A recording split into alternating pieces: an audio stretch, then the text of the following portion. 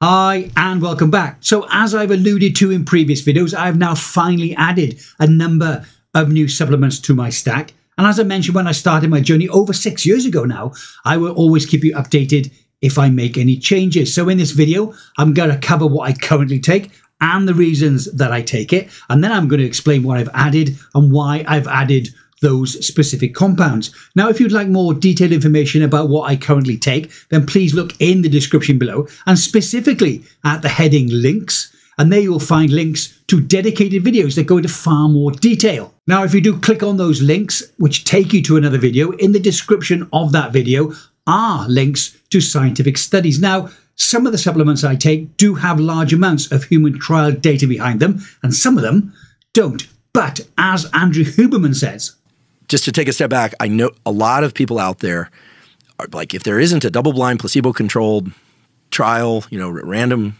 random trial, then why would you ever take something? And then there are a lot of people like David or me or a lot of people out there who think, well, if there are some mouse data or something safe, why wouldn't I try? Right? Because when it comes to longevity, nobody wants to be in the control group.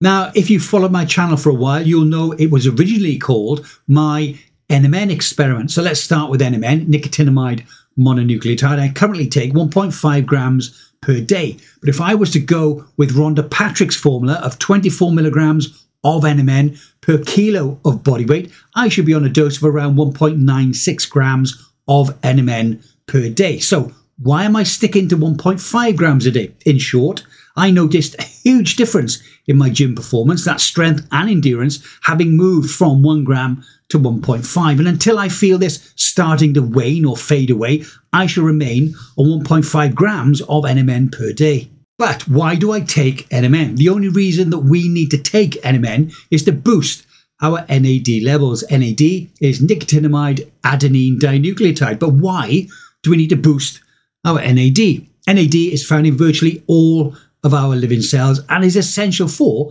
sustaining our life. NAD, unfortunately, declines drastically as we age, creating an energy deficit that decreases the body's ability to retain our youthful functions. NAD is biologically unstable, which makes it unsuitable for oral supplementation. Fortunately, it's easy to restore our cellular NAD by using an NAD precursor, things such as NMN or NR, which is nicotinamide riboside. This as a precursor converts into NAD once it's entered into our cells. So, what does NAD actually do for us? Is it really that important? First of all, NAD is required for proper cellular energy utilization. Studies have shown that NAD supplementation can slow cellular aging and improve many of the metabolic defects common commonly found in the aging process, including obesity, diabetes, cardiovascular disease, and some neurodegenerative conditions. NAD may also contribute to longer telomeres. Telomeres are stretches of repetitive DNA strands that cap the ends of our chromosomes, and they steadily shorten every time a cell replicates itself. Once telomeres reach a critically short length, cell renewal virtually stops leading to accelerated aging and the death of the cell. Telomere shortening is both a marker of cellular aging and a predictor of shortened lifespan. NAD is required for the functioning of the sirtuin proteins that contribute to longevity and more specifically maintaining the length of our telomeres. NAD promotes also the repair of our DNA. Now, even though DNA is protected by its chromosomal shelter, it is, unfortunately, highly vulnerable to damage. There are five other reasons to boost your NAD as you age. They are covered, along with these three, in far more detail if you click the link in the description below. In short, NAD also modulates immune cell signaling. It induces energy intensive enzymes. It also promotes chromosome stability. It's also a neurotransmitter and it activates the sirtuins. NAD also supports energy production similar to that of ATP. Now, next on my list of supplements is trimethylglycine or TMG. Now, although it's not specifically proven that taking NMN in supplement form will always cause the depletion of your methyl groups, I know that if I take NMN but I don't take TMG, after a few days, I do start to feel lethargic in the afternoons. Now, there's no official dosage or administration protocol for TMG, but the majority of the research that I've conducted has overwhelmingly recommended a 1 to 0.5 or a 1 to 1 ratio of TMG to NMN. So I take a 1 to 1 ratio. So for me, 1.5 grams of NMN equals 1.5 grams of TMG. Now, as well as helping to prevent methylation group depletion, TMG also has some other benefits. They are, but not restricted to, lowering homocysteine levels to improve our heart health, reducing fatigue, boosting protein production. It increases the synthesis of creatine. It may also prevent insulin resistance and may also improve the symptoms of depression. Next on my list is trans resveratrol. This is an anti inflammatory polyphenol and therefore an antioxidant. So it affects cells in your body by protecting them from damage. I take one gram of trans resveratrol mixed into my high fat yogurt on the days that I don't train in the gym. And studies have shown that this is the best way to take it for longevity. It helps with brain and heart inflammation by providing a protective lining to your blood vessels. This helps prevent insult or injury. This means it could have neuroprotective qualities and help preserve memory and also brain function, as well as prevent heart disease and strokes. It may also help slow down the formation of blood clots. Next on my list is vitamin D3. Now, vitamin D is actually a hormone that our bodies make once we're exposed to sunlight. It has long been known to help the body absorb and retain calcium and phosphorus, and both of these are critical for building good, strong, healthy bones. Now, I take 5,000 international units of vitamin D3 a day, and I take 10,000 twice a week. This amount keeps me at the higher end of the sufficient range. Lab studies have shown the vitamin D can reduce cancer cell growth. It helps control infections, reduces inflammation, and it's finally been agreed that low levels of vitamin D led to less favorable outcomes when it came to COVID 19. Now, many of the body's organs and tissues have receptors for vitamin D, which suggest important roles beyond that of just our bone health. Now, with vitamin D, I also take vitamin K2. Vitamin K has got two forms vitamin K1 and vitamin K2. I take 120 micrograms of vitamin K2 every day. Vitamin K2 plays a central role in the metabolism of calcium. That's the main mineral that's found in our bones and in our teeth.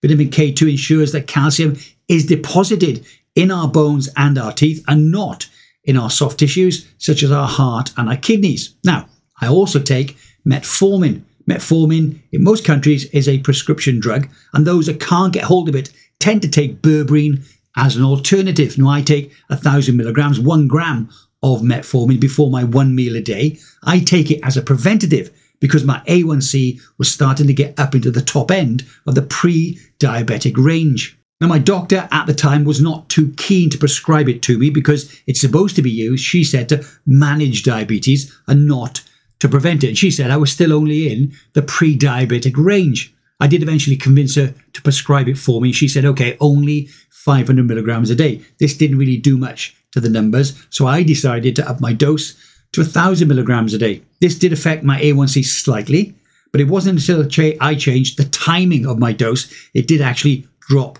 significantly. She recommended taking it at night after my last meal. I had taken berberine in the past, but again, this didn't really change any of my A1C numbers. That said, they didn't really go up either. Now, having seen a difference in my A1C numbers when I changed the time I took my metformin, I then decided to reintroduce one gram of berberine 2. Now, this had a profound effect to the degree where my A1C numbers actually fell below the recommended levels. So I changed. I'm now on one gram of metformin and 500 milligrams of berberine.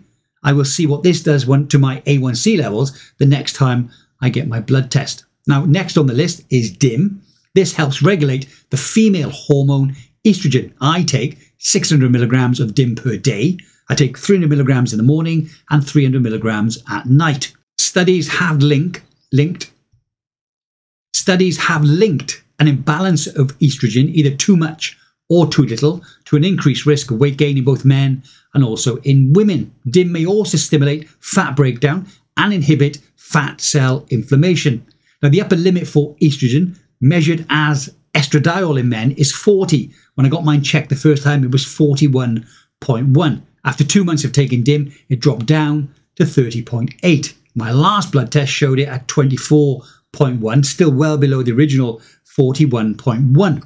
Moving on, the next supplement I'm going to talk about is hyaluronic acid. Now, I take 400 milligrams of high molecular weight hyaluronic acid per day. It's got a number of different benefits. The first one being it can speed up the wound wound healing process. It is naturally present in our skin, but its concentrations increase when there's damage that is in need of repair.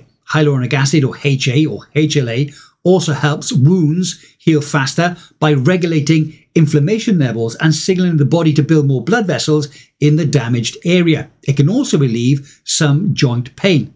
Hyaluronic acid is also found in our joints, where it helps keep the space between our bones well lubricated. Now, there are five more benefits, and they're all covered in the video that's linked below. In short, hyaluronic acid promotes healthier and more supple skin. It helps soothe acid reflux symptoms. It also relieves dry eye discomfort. It can preserve bone strength and it can help prevent some bladder pain. Next on the list of the supplements I take is quercetin. This is a plant flavanol from the flavonoid group of polyphenols, and that is not easy to say. I take 2,400 milligrams of quercetin on the first, second, and third of each month, and there's a link in the description below explaining why I don't take this every day. It's one of the most abundant antioxidants that are found in most balanced diets. It plays an important role in helping your body combat free radical damage, and this has been linked to some chronic diseases. It is also an FDA approved senolytic, meaning it, like fisetin, destroys senescent or zombie cells. There are five other reasons to take hyaluronic acid, and they're all covered in a video that is linked below. Now, also take fisetin.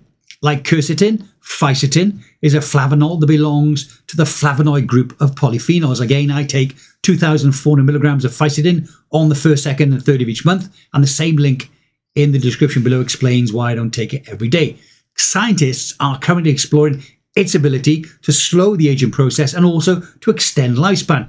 It, like quercetin, has senolytic effects, which means fisetin can selectively induce the death of senescent cells. Fisetin also blocks the NFKB pathway, an overactive NFKB pathway is linked to allergies, autoimmune diseases, and also some cancers. It also blocks the mTOR pathway. An overactive mTOR response is associated with cancer, diabetes, obesity, and some neurodegenerative diseases. Now, I also take 81 milligrams of aspirin each day. That's also known as baby aspirin. The daily use of baby aspirin can lower the risk of cardiovascular disease events in some people, although it is not safe for everyone. The FDA recommend only using aspirin in this way under the strict supervision of your doctor. Aspirin therapy reduces the clotting action of platelets, possibly preventing heart attacks. The Princeton Longevity Center investigated the findings of multiple studies and found that the risk of developing cancer was reduced by almost 25% after three years of taking aspirin on a daily basis. This, when compared with a control group that didn't take any aspirin. And after five years, the risk of dying from cancer was reduced by 37% for those who took aspirin every day. I also take another supplement, and that's called a SIRT6 activator. SIRT2 in six or SIRT6 is a stress response protein. I take 800 milligrams per day of this SIRT6 activator. In laboratory research, SIRT6 appears to function in multiple molecular pathways, all related to aging, including DNA repair, telomere maintenance, glycolysis, and also inflammation reduction. SIRT6 activator is a specially created, all natural product derived from a specific kind of seaweed. It's the first and only one of its kind in the world and is exclusively sold by Not Age. Each batch is scientifically tested, and some batches can actually have the opposite effect. Scientists from Dr. Vera Gorbunova's lab in America conduct all the tests to make sure that it is 100% safe. Next on the list of supplements I take is magnesium. Magnesium is the fourth most abundant mineral found in our bodies and is involved in more than 600 molecular reactions. Magnesium plays a key role in each of these. Again, there's a link in the description below to more detailed videos all about magnesium. Now, I used to take 250 milligrams of L-threonate magnesium, but this is one supplement I've increased my dose for. I'm now taking, again, 250 milligrams of L-threonate. I also now take 100 milligrams of magnesium glycinate and 200 milligrams of magnesium bisglycinate. Now, next on the list is omega-3. I take 800 milligrams of EPA, and I also take 600 milligrams of DHA. Omega 3 fatty acids support heart health by helping to reduce triglycerides, lowering our blood pressure, and decreasing inflammation all over the body. They also play a crucial role in brain function and may help protect against cognitive decline as we age. Now, again, if you follow the channel, you know that on a Tuesday I ruck run, and not so long uh, not, not so long ago, I was plagued by a lot of muscle issues, especially in my right calf. This was when I was ruck running. Now, the wonderful lady who massages my aching muscles told me I should start taking a vitamin B complex. Well, with nothing to lose, I thought I might as well give it a go. And it did actually work. Now, since taking this vitamin B complex that contains vitamin B1, B2, B3, B6, B9, and B12, I haven't had a single issue with muscles when I've been running.